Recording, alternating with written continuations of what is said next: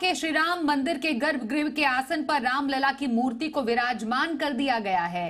रामलला की मूर्ति की पहली तस्वीर सामने आई है। भगवान श्री राम की जन्मभूमि पर बने राम मंदिर में रामलला के अचल विग्रह को गुरुवार को गर्भगृह में प्रवेश कराया गया।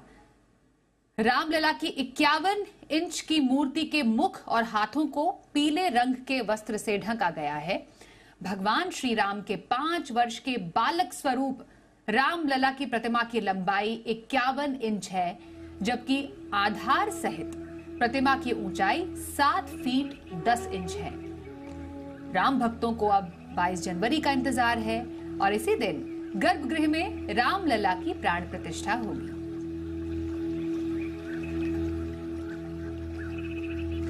और इस खबर पर अयोध्या से हमारे साथ जुड़ रहे हैं वरुण भसीन।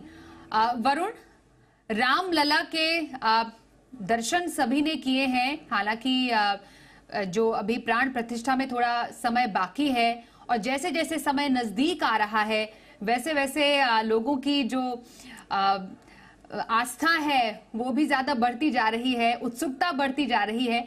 आप ही समझना चाहेंगे, अब आज शाम से दर्शन बंद हो जाएँगे, उसके बाद सोमवार को पुनः दर्शन शुरू हो जाएँगे। क्या तैयारी है और क्या आप वहाँ पर दृश्य देख पा रहे हैं?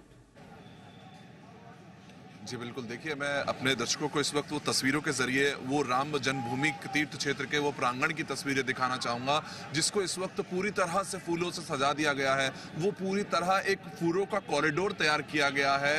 वो अलग अलग जगह से, देश के अलग अलग हिस्सों से हज़ारों टन इस वक्त वो फूल यहाँ पहुँच रहे हैं। अयोध्या इस वक्त पूरी तरह से सजा दी गई है। वो चाहे शाम को होने वाला दीपोत्सव हो, या फिर इस वक्त सड़कें जो कि रंगोली से सजी हुई हैं, एक तरह से जो दीपावली का माहौल है उसको क्रिएट कर दिया गया है, वो त्रेता युग की जो एक फीलिंग है, अगर राम भक्त यहाँ आते हैं तो वो उनको मिले, ये कोशिश की जा रही है। और उसके साथ साथ इस वक्त जो राम भक्त हैं, आज वो अस्थाई राम मंदिर का आखिरी दिन है, यानी कि जो इतने सालों से अस्थाई राम मंदिर चल रहा था, वो आज शाम को सात बजे के बाद इस वक्त बंद हो जाएगा। लेकिन जब अगली बार वो मंदिर खुलेगा तो वो वो दिन होगा कि वो राम लला की जो प्राण प्रतिष्ठा है, वो इस वक्त हो चुकी होगी। और अब वो दर्शन जो होंगे, राम भक्त उस प्रतिमा के उस पूरे जो संघर्ष था सैकड़ों सालों का उसके बाद अब उस मंदिर में दर्शन कर पाएँगे। अलग अलग जगहों से लोग आए हैं।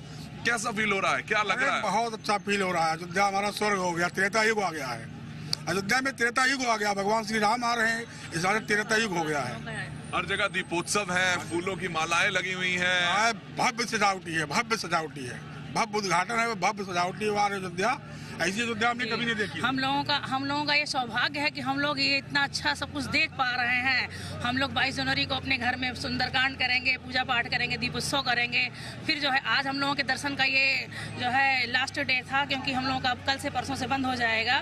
तीन दिन चार दिन बंद रहेगा। फिर हम लोग पच्चीस तारीख को आएँगे। हम लोग यहीं नज़दीक से ही हैं। तो देखिए अयोध्या वासी यहाँ पहुँचे हैं। मैं यहाँ दिखाऊँ सेल्फी पॉइंट्स बने हुए हैं। वो जय श्री राम हैशटैग जय श्री राम। ये वो तस्वीरें हैं अयोध्या की। ये वो प्रांगण है यहाँ से। एंट्री होती है उस राम मंदिर की और आज भी अलग अलग जगहों से लोग आ रहे हैं। बीस और इक्कीस को इस वक्त वो सुरक्षा कारणों के चलते जो कि बाईस तारीख को प्राण प्रतिष्ठा कार्यक्रम है, उसके चलते अभी वो दो दिन बंद रहेगा, उसके बाद प्राण प्रतिष्ठा है आठ हज़ार अतिथि। वो इस वक्त यहाँ पर 22 तारीख को पहुँचेंगे, सुरक्षा के जो इंतज़ाम है, वो इन दो दिनों में किए जाएँगे, लेकिन इस वक्त जो माहौल अयोध्या का, जो तस्वीरें अयोध्या की, इस पूरे कॉरिडोर में जितनी दूर तक आप इस वक्त मैं दिखाने की कोशिश कर सकता हूँ, वहाँ तक आप देखेंगे तो उसको पूरी तरह से फूलों से सजा दिया गया है और जो वो लाइटिंग है, उसकी व्यवस्था की गई है। रात को जगमगाता हुआ इस वक्त वो राम मंदिर भी हमें नज़र आएगा आपसे कुछ ही देर में। लेकिन इस वक्त वो फूलों की महक के साथ महकता अयोध्या, दीपों से चमकता इस वक्त वो अयोध्या की तस्वीर अलग ही देखने को मिल रही है। जी, तस्वीरों में हमने देखा और भक्तों का उत्साह चरम पर है। उसको भी हमने यहाँ पर महसूस किया है। वरुण, बहुत धन्यवाद करेंगे इस पूरी ग्राउंड रिपोर्ट के लिए आपका।